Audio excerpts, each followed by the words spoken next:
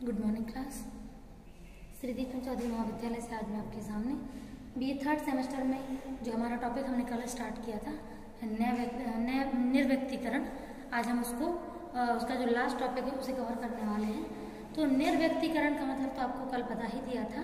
निर्व्यक्तिकरण का मतलब होता है अपने आप को भीड़ से अलग करना, जिसे हम लोग इंग्लिश में डी इंडिविजुअलाइजेशन कहते हैं। ठीक है? यानी कि किसी समूह से स्वयं को अलग करना। ठीक है? तो ये इसका आ, मतलब है।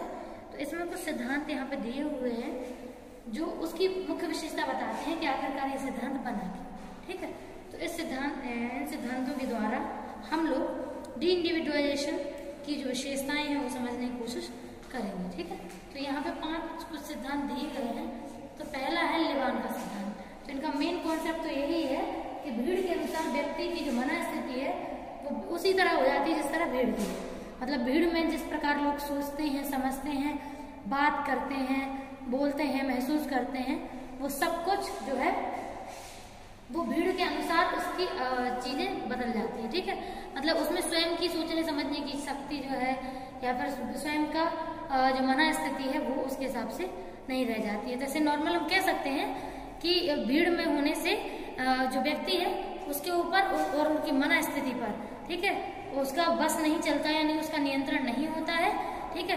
व्यक्ति अपने स्वयं के उत्तरदायित्व से विमुख हो जाता है और भीड़ के अनुसार ही व्यवहार करने लगता है। क्योंकि व्यक्ति को अपनी पहचान का भय नहीं रहता है, अतः भीड़ की मानसिकता का सक्रिय सहभागी बन जाता है। मतलब है कि उसे कोई फ़र्क नहीं पड़ता है कि उसकी पहचान क्या है, लोग उसे किस रूप में जानते हैं और उसको अपनी डिग्निटी बना के रखनी चाहिए। उसको इससे कोई फ़र्क नहीं पड़ता है। वो तो भीड़ भीड़ में बिल्कुल अपने आप को खो देता है। नेक्स्ट है पेस्टेंजर का सिद्धांत। तो इनने भी नॉर्मल सी बात बोली, इनका भी लिवान के सिद्धांत के आधार पर ही है। ठीक है इन्हें कुछ ज़्यादा अलग से इनके इनके सिद्धांत को और बढ़ाया है। जैसे इनने भी कहा कि भीड़ के प्रभाव से व्यक्ति व्यक्तित्वता से विमुख हो जाता है। मतलब व्यक्तित्व मतलब खुद के व्यक्तित्व, उसकी व्यक्तिगत जीवन है, उससे वो विमुख हो जाता है। ठीक है? तो अगर इनके हिसाब से सुना जाए तो इन्होंने भी लिवान के पूरे सिद्धांत को आगे बढ़ाया है और बोला है।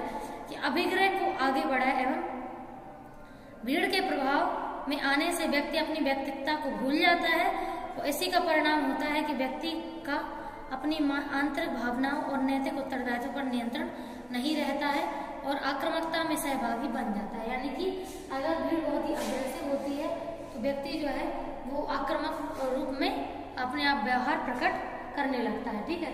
तो उसका जो पूरा व्यवहार है वो उसके परिवार के सॉरी उसकी भीड़ के हिसाब से चलता है। ठीक है, अगर भीड़ मान लीजिए क्या बोलते हैं वायलेंस वाला बिहेवियर कर रही है तो वो भी वायलेंस वाला बिहेवियर करता है। और अगर भीड़ बहुत ही काम एंड क्वाइट है तो उस हिसाब से वही यानी कि वो अपना ओरिजिनल स्वरूप भूल ही जाते हैं। नैतिकता के नियमों को, के हिसाब से भी वो कार्य नहीं करते हैं। तो ये उनके हिसाब से डिपेंड करता है कि वो अपना जो व्यक्तिगत जीवन है, या वो कैसे सोचते हैं, समझते हैं, कैसा महसूस करते हैं, वो सब कुछ वो भूल जाते हैं। नेक्स्ट है जिम्बार्डो का सिद्धांत। तो इनका भी कहना है कि इनका भी मेन यही है कि व्यक्तिगत उत्तरदायित्व से विमुख हो जाते हैं मतलब इनकी अपनी क्या ज़िम्मेदारी है इनके परिवार के प्रति, इनके अपने लोगों के प्रति, इनके खुद के प्रति, है ना? और इनके समाज के प्रति क्या ज़िम्मेदारी इनकी है, ये वो भूल जाते हैं और अपने आप को भीड़ में बिल्कुल खो देते हैं। ठीक है? कभी कभी तो ऐसा भी होता है, कुछ लोग ज़िम्मेदारी से भागने के लिए भीड़ में गुम होते हैं, ताकि उनको ज़्यादा ज़िम्मेदारी ना उठानी पड़े। लेकिन ये गलत है। ठीक है? तो आप ग्रुप में रहना गलत बात नहीं है, लेकिन ग्रुप में रह करके अपनी आइडेंटिटी को बनाए रखिए तो ठीक है। अगर आप अपनी आइडेंटिटी को खो रहे हैं तो ग्रुप में आपका रहना फिर बेकार है। फिर तो आप अपनी पूरी पहचान को खत्म ही कर रहे हैं और अपने उत्तरदायित्व तो वैसे भी निभाएँगे। ठीक है? तो ये है। तो इनने भी 1969 के अनुसार जो जिम्बार्डो का सिद्धांत था, ठीक है? तो उसमें 1960 में इन्होंने अनामिकता, यानी कि जो पॉइंट हमने कल समझा था ना ठीक है? तो उसके अनुसार इन्होंने कार्य किया है। तो इनका कहना है कि ये व्यक्ति अपने व्यक्तिगत उत्तरदायित्वों से हट जाते हैं, विमुख हो जाते हैं, ठीक है? ये अपने उत्तरदायित्वों का उतने अच्छे से निर्वाह नहीं करते, ठीक है? और इसके अलावा अगर हम देखें तो इनमें उद्दोलन वाली वो नहीं फीलिंग्स नहीं आती। मतलब कहते हैं ना, किसी कार्य को करने के लिए अंदर से वो लगी रहती है कि ये काम तो आपको करना ही है। तो इनमें अराउजल वाली कंडीशन नहीं देखने को मिलती है, ठीक है? संवेदी आदित्य नहीं होता है। मतलब ये सेंसेशन ज़्यादा लेते नहीं ओवरलोड हो जाता है या फिर बिल्कुल सेंसेशन वाली इंफॉर्मेशन लेते ही नहीं है, ठीक है? या फिर जो परिस्थितियाँ बदल रही हैं, उसमें कितनी भी वृद्धि हो जाए, लेकिन इनमें कोई परिवर्तन देखने को नहीं मिलेगा, ठीक है? उससे व्यक्ति अपनी पहचान भूल जाता है, अपनी आत्मविवेक भी खो देता है। मतलब उन्हें नहीं पता होता है कि जो कर रहे हैं कितने हद तक सही है, कितना सही नहीं है। तो इन्होंने अपना विवेक तो खत्म कर ही दिया होता है, और ये जो है, वो भीड़ के साथ ही अपने आप को खो देते हैं। ठीक है? और भीड़ के अनुसार ही व्यवहार करते हैं। अब लास्ट सिद्धांत है हमारा, नहीं नेक्स्ट है डाइनर का सिद्धांत। और डाइनर ने भी एक पॉइंट में अगर समझे तो आत्मचेतना की कमी।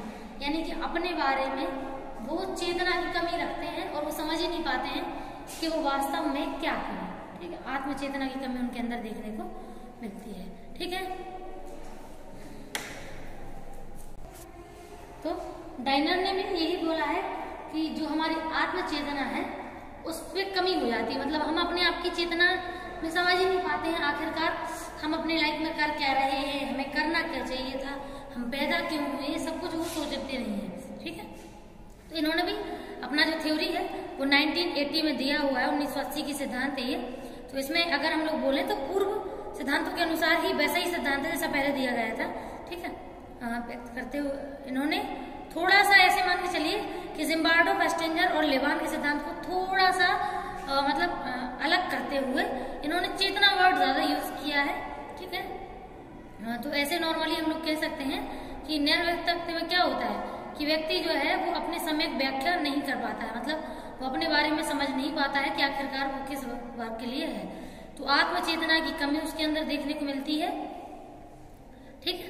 तो और उसके अलावा अगर हम बात करें तो बहुत सारी जिम्मेदारियों से अपने आप को वो हटा लेता है, ठीक है? और वो उन पर विचार नहीं करता है, ठीक है? तो मेन चीज़ यही है आपके सोचने से चीज़ें होती हैं।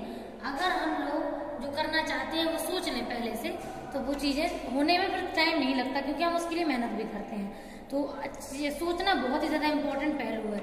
लास्ट थ्योरी है सामाजिक तदात्मक तदात्मक प्रतिरूप सिद्धांत, जिसमें आत्म पहचान भूलना की बात की गई है, कि व्यक्ति अपने स्वयं की पहचान को ही भूल जाता है, ठीक है? तो सामाजिक का अध्ययन तो सामाजिक से समझ लो। सामाजिक का मतलब क्या? कि समाज में रह करके अपनी पहचान की बात हो रही है, ठीक है? तो समाज आपको किस तरीके से जानता है? आप समाज को कैसे रिप्रेजेंट कर रहे हैं अपना, ठीक है? तो ये इंपॉर्टेंट होता है। तो ऐसे मान के चलो कि जो अगर स्पीयर्स ने भी इसमें सिद्धांत में ऐसे बोला है कि जो निर्व्यक्तिकरण है, उसके कारण व्यक्ति स्वयं की विशेषताओं को और अपनी मतलब जो भी उसकी विशेषताएँ होती है, उसको भूल जाता है। और समूह में अपने आप को शामिल कर लेता है और इस तरह शामिल करता है कि वो अपने अंदर उसके क्या चल रहा है, उन चीज़ों पर ज़्यादा ध्यान नहीं देता है। ठीक है? तो ये चीज़ें मतलब ऐसे जब व्यक्ति जो होता है उसमें ये व्यक्ति के अंदर